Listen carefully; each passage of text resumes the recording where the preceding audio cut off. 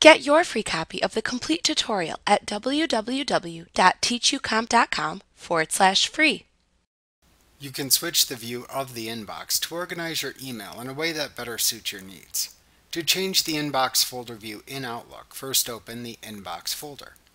Then click the View tab in the ribbon. Then click the Change View button in the Current View button group.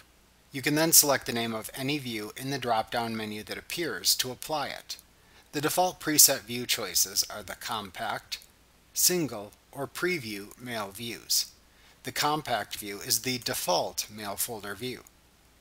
Alternatively, if you want to create your own custom mail folder view in Outlook, select the Manage Views command from this same drop-down menu to open the Manage All Views dialog box. This is the same dialog box used to customize the view of the Contacts folder.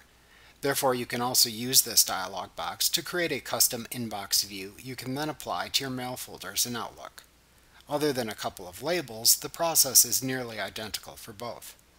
To learn how to create a custom mailbox view in Outlook, please examine the lesson titled 14.2 Creating Custom Mailbox Views later in this tutorial. Like what you see? Pick up your free copy of the complete tutorial at www.teachucomp.com forward slash free.